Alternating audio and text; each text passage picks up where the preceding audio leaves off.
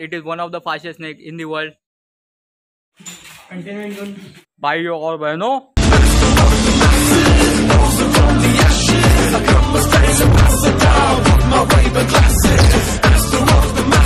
Hey guys, what is up everybody? This is Guy Rutu Jadhav, aka Wild Ajay. So guys, welcome back to my channel. I hope you guys are doing absolutely fine. So guys, इतना ही हमने रट्टा मारा था English में जो कि हम बोल चुके हैं तो गाइज़ आज के स्नेक की बात करूँ तो उसकी रफ्तार जैसे चीते की चाल, उसको देखते ही लोगों के दिलों में बच जाता है हाहाकार। जी हाँ ये है इंडियन रैट स्नेक का ही कमाल। तो गाइज़ आज का वीडियो होने वाला इंडियन रैट स्नेक पे। तो guys believe it or not it is one of the fastest snake in the world and fastest snake of India भी इसे बोला जाता है। ये है इंडियन रैट स्नेक तो गाइज़ इसकी रफ्तार इतनी है कि ये देता है घोड़े को भी पछाड़। तो इसलिए इसे हिंदी में घोड़ा पछाड़ भी कहते हैं। तो गाइज़ आज हमने उस घोड़ा पछाड़ को रेस्क्यू किया है। एक बिल्डिंग के ग्राउंड फ्लोर के एक घर में घुस गया था उसने तो वहाँ से हमने उसे रेस्क्यू किया है। तो मैं आपको सीधा रेस्क्यू दिखाता हूँ। तो चलिए गाइस आइए मेरे साथ वीडियो देखते हैं।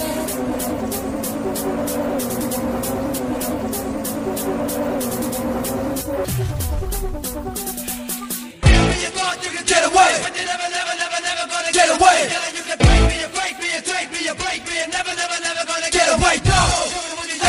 तो गाइज़ हमने कंटेनमेंट जोन में जाके स्नैक को रेस्क्यू किया है। तो चलिए गाइज़ देखते हैं कौन सा स्नैक है।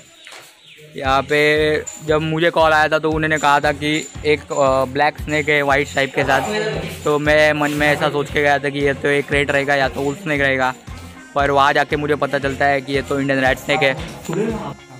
जो मेरे दोस्त के घर के मतलब दोनों दरवाज़ों के बीच में जो गैप रहता है वहाँ पे अपने आप को कुंडली मार के वो स्ने, स्नेक बैठा था।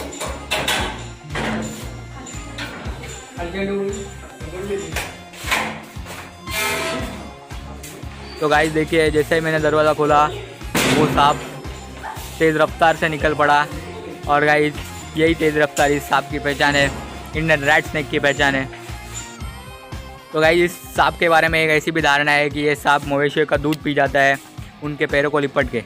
तो गाइस कौन सा भी सांप है, वो मवेशियों का दूध क्या किसी भी चीज़ का दूध नहीं पी सकता, क्योंकि गाइस सांप के लिए दूध एक जहर रहता है। अगर सांप ने दूध पी लिया तो उसकी मौत एक दो दिन में होना तय है, क्योंकि सांप दूध को पचा नहीं पाता।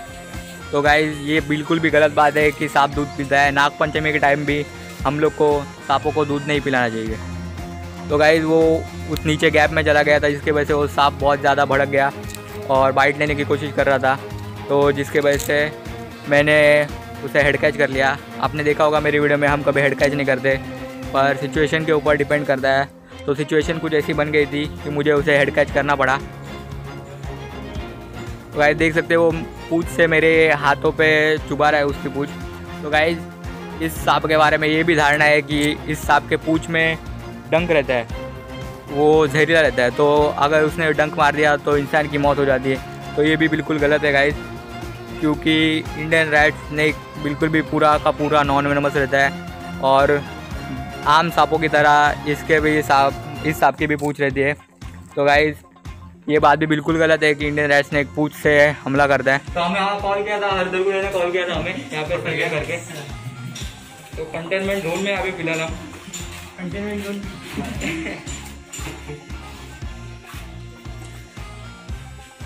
देखिए गाइस इसके अंदर देख सकते आप पूरे छोटे छोटे दांत रहते हैं। अंदर मतलब घेर के दांत नहीं रहते। दामन का बच्चा है? हाँ। तो गाइस ये बिल्कुल नॉन वेनमस ठीक है अगर काटे तो कुछ भी नहीं होता। लेकिन फिर भी इसको ये पकड़ के में नहीं जाना है हम लोग को। तो गाइज़ कोई भी स्नेक हो आपको उसे पकड़ने नहीं जाना है। जो काम है वो प्रोफेशनल पे छोड़ देना है। क्योंकि स्नेक वेनमस भी हो सकता है नॉन वेनमस भी हो सकता है। और इस स्नेक की बाइट भी बहुत ज़्यादा पेनफुल होती है। तो गाइज़ और अगर कोई भी स्नैक बाइट हुआ तो हमको सीधा गवर्नमेंट हॉस्पिटल जाना है, जहाँ पे सांप का बराबर इलाज होता है, ना कि झाड़ू फूक वाले के पास जाना है। झाड़ू फूक वाले के पास जाओगे तो अगर वेनमस स्नैक ने काटा तो मौत निश्चित है गाइज़ तो हमने इसे पैक कर लिया गाइज़ अभी हम इसे रिलीज़ कर देंगे।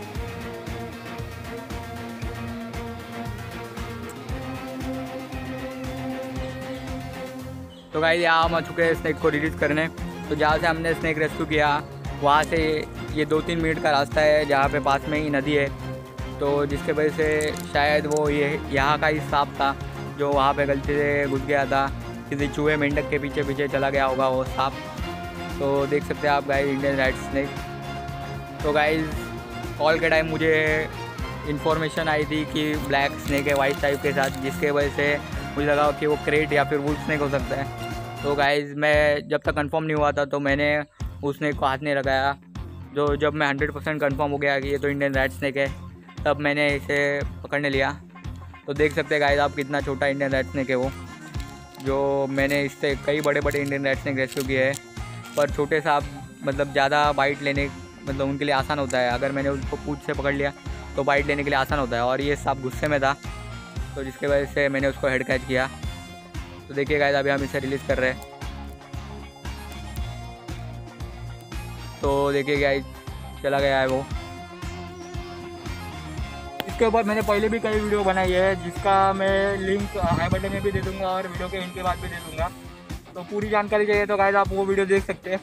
ये हमारा कॉमन इंडियन राइस स्नेक है, जिसे हम धामन बोलते हैं मराठी और हिंदी में भी। तो बस, हमेशा हमको ये मिलता रहता है और हम इसे पकड़ के रेस्क्यू करते रहते हैं। और मतलब मोस्टली मैं नहीं पकड़ता इंडियन रेड स्नेक पर आज ये ऐसा हुआ कि वो उस लड़के के मतलब वो मेरा दोस्त ही, जिसके घर में चला गया। तो जिसकी वजह से उसको पकड़ना बहुत ज़रूरी था, क्योंकि वो घर के अंदर था। तो गाइज़ एक और स्नेक हमने सेफली रेस्क्यू करके रिलीज़ कर दिया है। और गाइज़ इस इंडियन स्नेक की मैं आपको कुछ और खासियत बता दूँ। तो गाइज़ ये सांप इतना ज़्यादा अच्छा क्लाइंबर है कि पेड़ों पे बहुत ऊंचाई तक चढ़ जाता है और जो पक्षी के जो घर में जो अंडे रहते हैं और जो पक्षी के चूजे रहते हैं तो वो भी ये बहुत आसानी से खा लेता है गाइज़ तो गाइज़ ये कभी कभी मतलब बिल्डिंग के सेकेंड थर्ड फ्लोर तक भी पाया गया है। तो ये बहुत आम बात है इस सांप के लिए, क्योंकि ये बहुत अच्छा क्लाइंबर है। और गाइज़ ये सांप अंडे भी देता है। तो गाइज़ और एक बात मैं आपको इस सांप के बारे में बता दूँ कि ये सांप वाइल्ड लाइफ प्रोटेक्शन एक्ट के तहत प्रोटेक्टेड है। तो इसे मारना एक क्राइम है। और गाइज़ तो अगर आपको आपके घर के आजू बाजू में सांप नहीं चाहिए तो भाइयों और बहनों, आपके घर के आजू बाजू में स्वच्छता रखो। और मिशन स्वच्छ भारत का साथ दो। तो गाइज़ जिसके वजह से आपके घर के आजू बाजू में स्नेक्स नहीं आएँगे। तो गाइज़ ये थी आज की वीडियो अगर आपको मेरी वीडियो अच्छी लगी होगी तो आप जानते हो आपको क्या करना है। आपको सब्सक्राइब कर देना है तो जल्दी से उस सब्सक्राइब बटन को हिट कर दीजिए। तो गाइज़ मैं आपका अपना वाइल्ड लाइफ फिर से कुछ ऐसी इंटरेस्टिंग वीडियो लेके आऊँगा। Till then you M you fellas and stay wild तो चलिए गाइज़ बाय